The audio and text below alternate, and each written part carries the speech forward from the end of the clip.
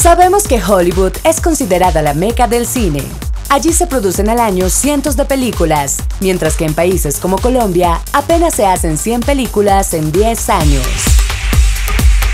Lo cierto es que aunque sea la meca, Hollywood se ve afectada por una aparente crisis que desde hace unos años se rumora en la industria cinematográfica.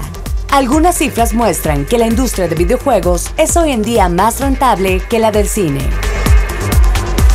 Gracias a la implementación y diseños de novedoso software e implementación de nuevas plataformas para esta industria, cada día son más las empresas que le apuntan al desarrollo de películas con alta tecnología. Lo que indica que estamos sin duda en la era de la tecnología digital, que se está aplicando al cine en películas no solo consideradas como de entretenimiento, sino films como los de Kieslowski y su famosa trilogía Tres Colores, azul, blanco, rojo, con la utilización de técnicas de realidad virtual, así como el almacenamiento de películas en soportes o memorias ópticas del tipo Laserdisc. ¡Wey! ¡Hello! ¿Cómo vamos? ¡Feliz noche para todos! Vienes con nuevo look. Oye, gracias Me por gusta, darte cuenta. me gusta. Oye, Gra- ¿cómo gracias, estás? papi. Hola, yo con bigote. Te lo presto cuando quieras. Ok, bienvenidos aldeanos, ¿cómo están? Feliz noche. Aldea TIC está al aire en Canal 3, este espacio del Ministerio TIC, el Ministerio de las Tecnologías, la Información y las Comunicaciones y obviamente el Canal 3. Así es, mi querido Uribe, arroba Uribe DJ, arroba que era somos nosotros y arroba Canal 13 para que nos escriban con el hashtag Aldeatic. Hoy vamos a hablar de un tema que a este personaje le encanta. Lo mío. Y es cómo las TIC han beneficiado el mundo del cine. Para muchos, una maravilla. Para otros dicen, "Mm, mm, eso no sirve en el cine. Vamos Toda a ver qué piensa todo el mundo y tendremos obviamente un experto en el tema. Así que bienvenidos a Aldeatic, que arranca en 5, 4, 3, 2. 1. ¡Fuímonos! Aldea TIC.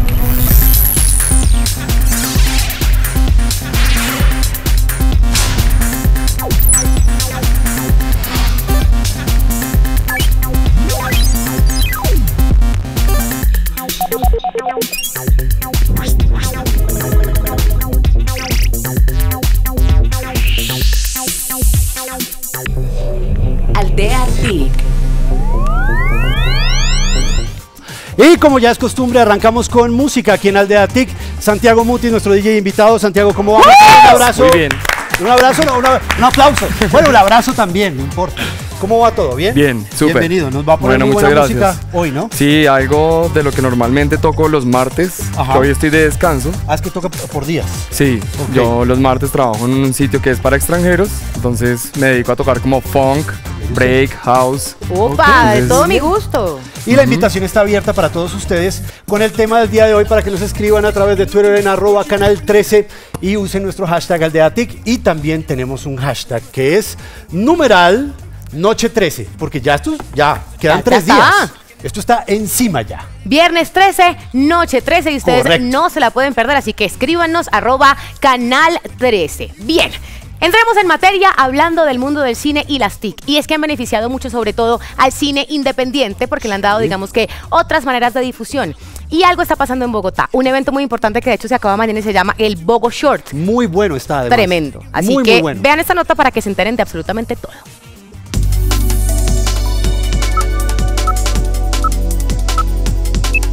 Esta es la onceava versión de Bogo Shorts. Han sido muchos años mostrando muchos cortos.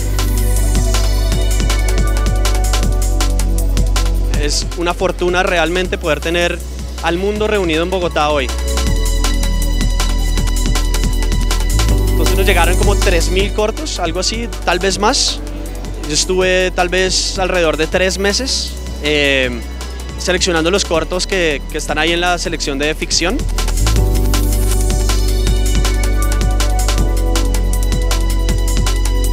Tenemos una plataforma increíble, súper tecnológica, que Clermont Ferrand almo- ayuda a montar. Y es una, una plataforma donde tú logueas con tu nombre de usuario de seleccionador y entras y de repente ves que tienes el mundo a tus pies, como el mundo, el mundo de cortometraje. Entonces íbamos poniendo tags como hashtags de cierta manera dentro de la selección que hacíamos y pues es algo como súper novedoso. En general para el cine colombiano lo que está pasando, o sea, digamos no podría estar el mejor momento desde un lado tecnológico. Hace 15 años yo creo que nadie se pudo imaginar editar una película desde un portátil, desde un disco duro externo así de chiquito y poder hacer que salga en una pantalla grande a nivel nacional.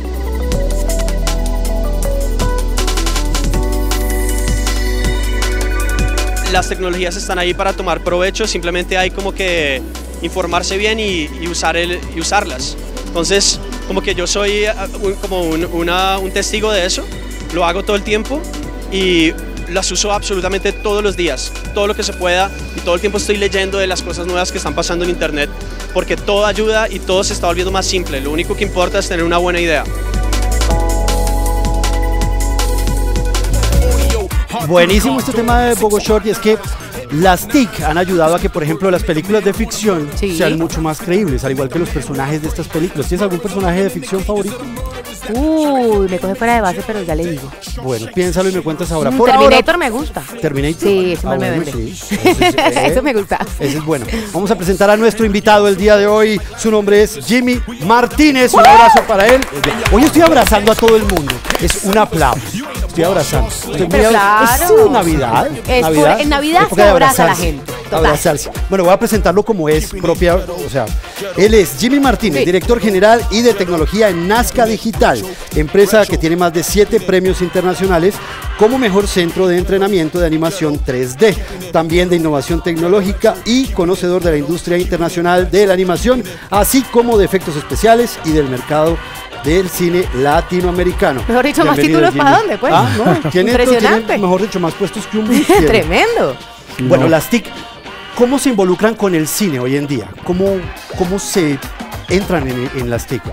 Bueno, primero que todo, muchas gracias por la invitación, feliz de estar acá. Bienvenido. Eh, y feliz también de contarles un poco cómo todo este cuento de las TIC está metido y ahorita es casi que la base después de tener una idea de cómo podemos crear una película y a través de internet eh, también tener muchos medios sobre los cuales podemos crear y desarrollar películas, no solamente eh, digamos con, con tecnología muy profesional, sino también con tecnología que ahora es más barata y está en la casa. Ah, eso lo barato es importante, ¿no?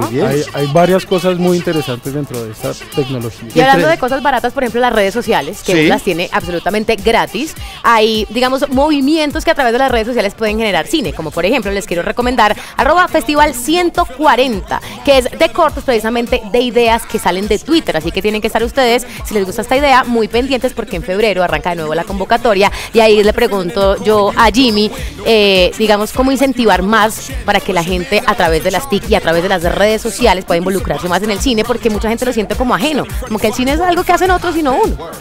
Sí, pues mira, básicamente eh, ahorita tú puedes utilizar eh, diferentes tipos de tecnologías para crear tus propias producciones. Por ejemplo, eh, el, software de animación 3D, ¿cierto? O el software de animación 2D con el que se hacen las grandes producciones, ahora también está aquí ya digamos lo tienes gratis, lo puedes descargar de una página y este a su vez automáticamente puede estar conectado directamente a tus redes sociales, es decir, tú vas creando un producto y puedes testearlo en, Facebook, puedes, puedes eh, que la gente opine e incluso también puedes hacer que la gente pueda aportar con dinero si le interesa apoyar el producto y si le gusta tu idea.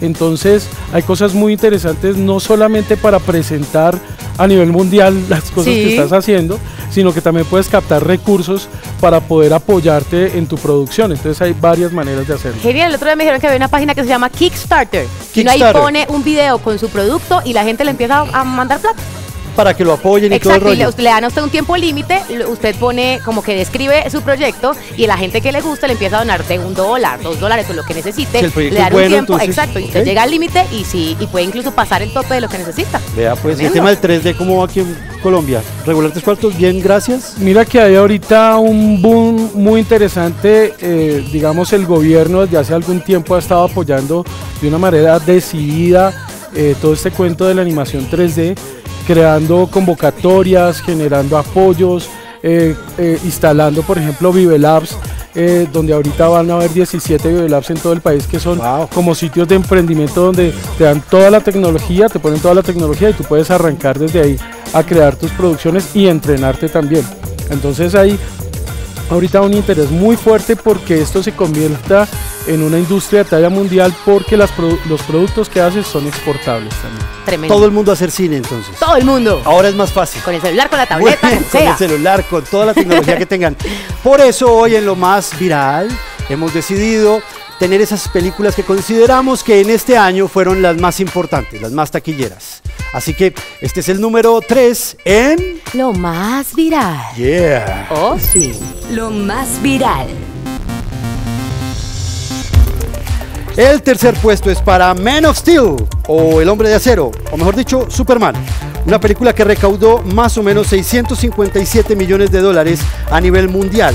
Fue tal el éxito de esta película que el público pidió que fuera reestrenada en las salas de cine de Estados Unidos. Puedo decir además que Superman es un absoluto y completo bombón. Sí, pues no, es que esta Dios película mío. fue hecha para ustedes. Qué cosa tan bárbara. Uno salía del teatro y eso no era sino babas por todas qué partes. cosa. En fin, continuemos con el tema antes de que yo me desvíe a hablar y arregarme aquí de Superman. Y más bien le quiero preguntar a Jimmy acerca de los, digamos, los detractores de las TIC en, en el cine y la gente que lo apoya. Sobre todo los detractores, los que, digamos, que aman el cine tradicional. Entonces dicen como, no, debería ser así, debe hacerse de la manera tradicional. No, Superman debería ser cinearte. Exacto, y he dicho que decirle a esos detractores eh, de para dónde va el cine, cómo va evolucionando la industria. Yo pienso que esto es ya un, un- un tren que no tiene eh, reversa, pues. Eh, definitivamente eh, hay, sí hay una parte muy importante que es la que tenemos que escuchar, que es eh, el trabajo que tenemos que hacer con eh, las ideas que hay, la manera como se estructura el proyecto, la manera como podemos armar y contar una historia, esa, esa esencia debe permanecer.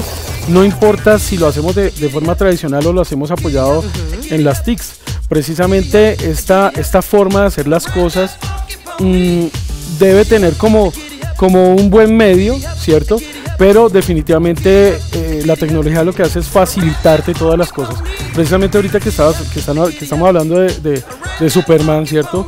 Eh, los efectos visuales es lo que ha existido desde, desde los comienzos del cine. Así que definitivamente eh, eh, todos los trucos que se utilizan simplemente ahora lo hacemos de manera digital. Y eso es lo que se llaman efectos visuales y ahí es donde está digamos el poder de, de- de poder contar una historia que antes con otros medios era mucho más complicada. Siempre cuando haya una buena historia, Hoy en día, película que no tenga efectos y a uno especiales. le parece como rara, ¿no? Sí, sí, Muy hasta bien. para la película de la abuelita con el nieto hay efectos especiales. Yo me voy con el puesto número 2 de... Lo más viral. Lo más viral.